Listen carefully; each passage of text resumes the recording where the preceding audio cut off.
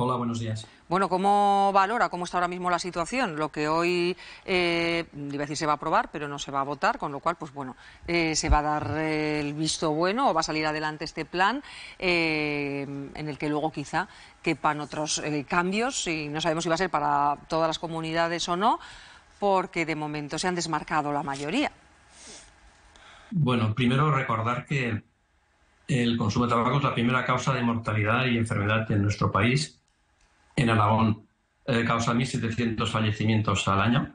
Es como si cada mes estrellara un avión en, cerca del aeropuerto de, Zaragoza con 140 personas a bordo, sin supervivientes. ¿no? Entonces, es un tema como muy serio, como plantearse cuestiones formales como obstáculo a desarrollar todas nuestras iniciativas para, para, avanzar en la prevención y control del tabaquismo. ¿no? En primer lugar, el, el plan se, se, redactó ya, empezó a redactar en 2021. Es verdad que ha estado guardado cajón dos años, pero hace varios meses que las, los técnicos de salud de, tabaco de las comunidades tienen información. De hecho, la mayoría de técnicos de salud de tabaquismo de las comunidades han participado en la elaboración del plan. Es un plan muy detallado, unos objetivos muy, muy claros, muy específicos y con un avance científico abrumador, diría yo, en la mayoría de, de, las cuestiones.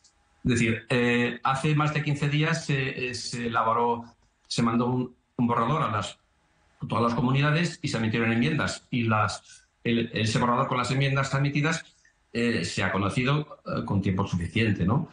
Es decir, lo de la excusa de, la falta de tiempo es, muy discutible, ¿no? Eh, por otra parte, las principales medidas que, tienen efecto en el control del tabaquismo tienen un coste cero, un coste cero para las arcas públicas.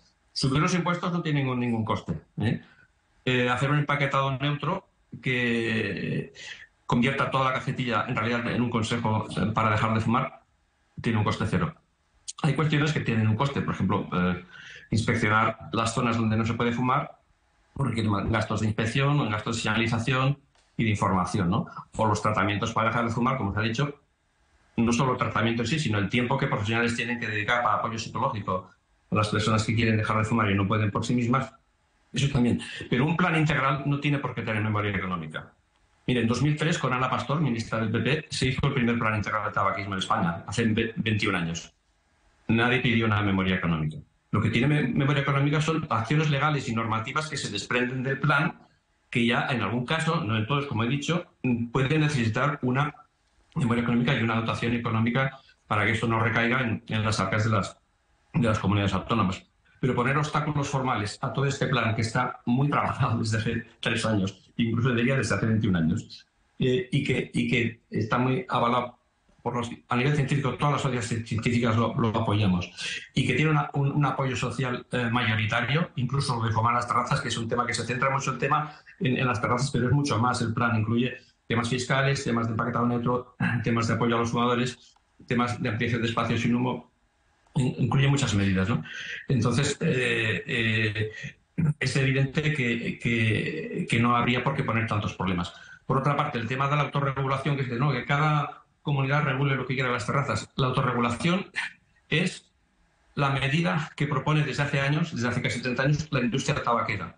¿eh? Hay un plan que se llama cortesía de elección, courtesy of choice, que se ha impuesto en Latinoamérica, utilizando manipulando al sector de la hostelería para defender los intereses de las tabaqueras, no los intereses de la hostelería. La hostelería no tiene nada que perder, aunque no se fumen las terrazas.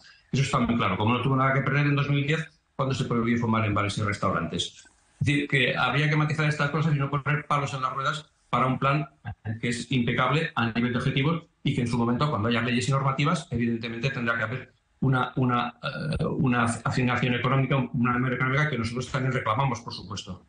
Pues Rodrigo Córdoba, eh, gracias por habernos eh, atendido y darnos su opinión en aquella hora. Un saludo. Pues muchas gracias a ustedes.